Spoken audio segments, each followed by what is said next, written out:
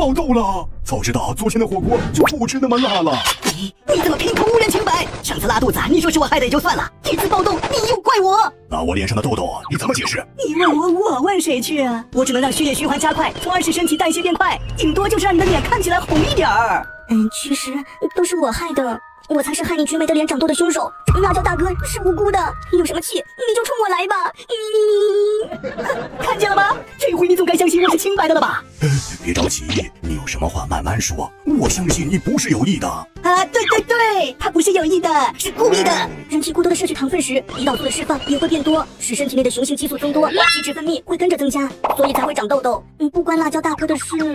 停停停，听我说来，得怪你自己啊。谁让你吃那么多糖分多的食物了？哎呀，甜食才能让我有幸福感啊！谁能拒绝奶茶小蛋糕啊？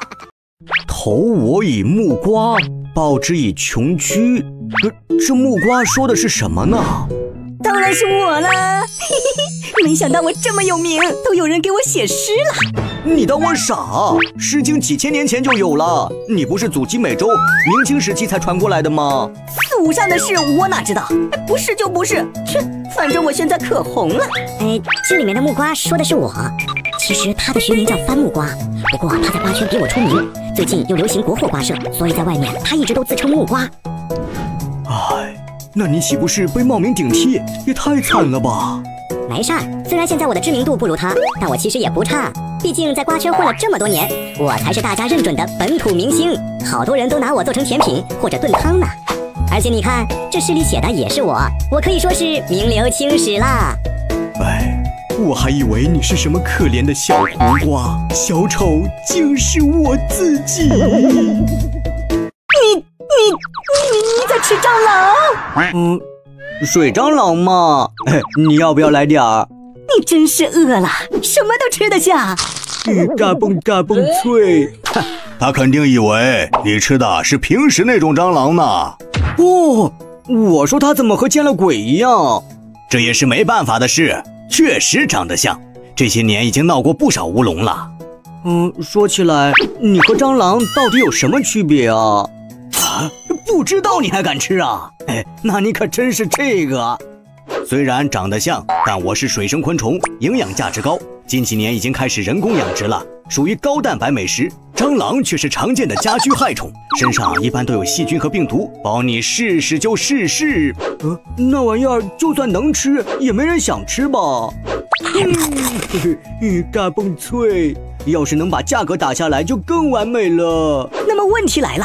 你能分清蟑螂和水蟑螂吗？说了多少遍了，我不吃香菜，你怎么还是每道菜都放？哦，这香菜多好吃啊！还是我一早到菜市场去挑的呢。我辛辛苦苦做这一桌子菜也不容易，你这挑食的毛病该改改了。一股肥皂味儿，谁愿意吃谁吃。我宁愿一辈子荣华富贵，也不会吃的。呃，我还以为你要发什么毒誓呢。挺好闻的，要不怎么叫香菜呢？呃，你不会是嗅觉有问题吧？你才嗅觉有问题呢！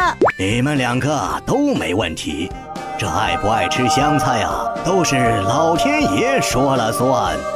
这还涉及到玄学呢？非也非也，真相其实是在你的十一号染色体上有一种名叫 O R 六 A 二的特殊基因。对香菜里的醛类物质很敏感哦，不对，准确来说是反感。而这些醛类物质正是香菜气味的来源，所以啊，你觉得香菜难闻也不奇怪啦。哦，那我怎么听说有的人一开始也不吃香菜，后来又爱吃了呢？好问题，欲知缘由，且听下回分解。一红一黄的，咋还变异了呢？大哥，咱俩怎么变色了？不会有什么问题吧？这阳光真旺啊，光合作用我都快进行不过来了。哎呀，我也是啊，太晒了，躲叶子下面遮遮阳吧。你干什么？嘿，此路是我开，此树是我栽。要想去遮阳，留下满叶钱。哎，你个心机胶！只要你们被晒干了，整个胶原就是我的天下了。嘿嘿嘿嘿。咦，哎呦，瞧你俩这一红一黄的，咋还变异了呢？呃，大哥，咱俩怎么变色了？不会有什么问题吧？小弟，你别急，变色可是一件好事情。变黄是因为体内的类黄萝卜素变多，变红则是因为花青苷变多，这都是天然形成的。只有天选之交才有变色的福气。这种青椒还能收获红黄彩椒，这可是意外之喜呀！彩椒市价可比青椒高多了。拜拜啦，你个普通的坏青椒！说好一起绿到头，你俩却在中途聚了油！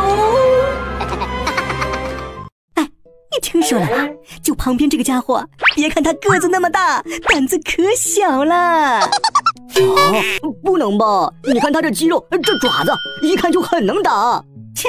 你都说是看起来啦，其实啊，他们一遇到危险就只会把头埋进沙子里。好啊，原来就是你，整天造谣我们胆小，这下可算让我逮住了。哎，什么造谣？我可是有证据的。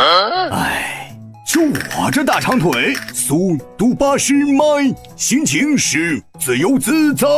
老虎、狮子都跑不过我，我遇到危险，就算不拔腿就跑，至少也不会把头埋进沙子里，让自己窒息吧。那么一大截身体露在外面，你当我们傻还是别人瞎？在我们繁殖的季节里，我们中的雄性在孵蛋时会挖一个大洞，把蛋放进去，并且和雌性一起轮流一起旋转蛋，这是我们正常的亲子互动。在这个过程中，头被洞口掩盖，最多也就能说明我。我们头小，而不是胆小啊！你们说我说的有道理吧？哎呀，都是可乐，瓶装和罐装到底有啥区别？选哪个好呢？选我，选我，我比它性价比高。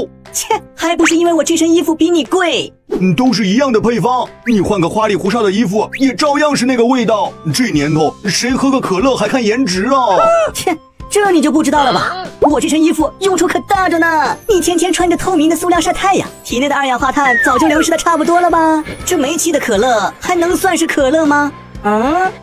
嗯，你，嘿嘿，这就急了。我还没说完呢。你这身便宜衣服透光也就算了，密封性也差，哪有我这金属战衣靠谱？还没打开喝呢，里面的气就全跑光了吧？明明是因为喝你的时候要一口一口喝，可乐接触的都是味蕾更丰富的舌尖的前部分，可喝我的时候都是直接灌入舌头中后部，舌尖都感受不到可乐的绵密舒爽，当然会不一样了。那你自己不也承认了我口感更好吗？冤有头债有主，你这衣服也不是我设计的，还能怪到我身上吗？唉，嘿嘿，巧了。我就爱喝没气儿的可乐，嘿嘿嘿。我勒个骚嘎！野生的空心菜正好配我的野生方便面。这可是万毒之王，你也敢吃？没听说过，空心菜而已。它吸附重金属的能力相当强，吃了痛风、抽筋、脑壳疼。你看看周围这么脏，它不就是王中王？王中王，一阶更比六阶强。是哦，那还真不能吃。唉，所以嘛，你去别处找找。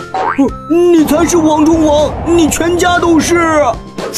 大傻春，我在帮你呀。哼。没一句好话，你还帮我？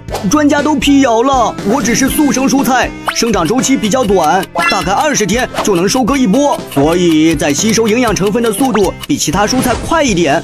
而且我这个生长环境里的是属于有机肥，不是重金属。我们空心菜富含丰富的维生素 C 和维生素 K，身体里的钙含量还和牛奶差不多，可谓是好处多多。咦？这么好，现在就带你回去。哎，不听本从言，还缺点葱花。你